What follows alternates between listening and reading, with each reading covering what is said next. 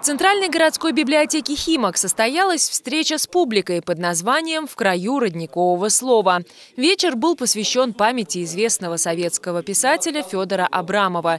В феврале почитатели его таланта отмечают столетие со дня рождения автора. Несмотря на то, что родился он в селе Веркало Архангельской области, с некоторыми жителями «Химок» его связывают почти что родственные узы. Семья Ирины Маковеевой была дружна с Федором Александровичем.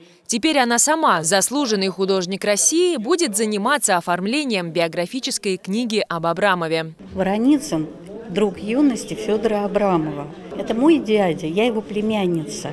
И, конечно, тогда я ну, маленькая девочка была, я этого не понимала. И уже много позже э, узнала вот об этой дружбе. Федор Абрамов – это писатель нашей юности, молодости. Биографию Федора Абрамова, одного из ярчайших представителей деревенской прозы, готовит к выпуску Олег Трушин. Сам писатель, он долгое время исследовал жизнь и творчество своего знаменитого коллеги. Я не видел ни одного писателя, с такой трудной судьбой, как Федор Абрамов.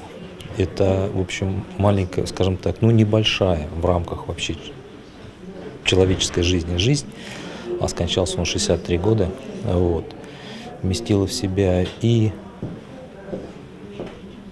ученую деятельность, и фронт, и войну, и литературу, и, в общем-то, перепития такие были очень большие, как он только выстоял. Вот, он мог погибнуть в любую минуту абсолютно. Это из простой крестьянской семьи, из очень бедной крестьянской семьи.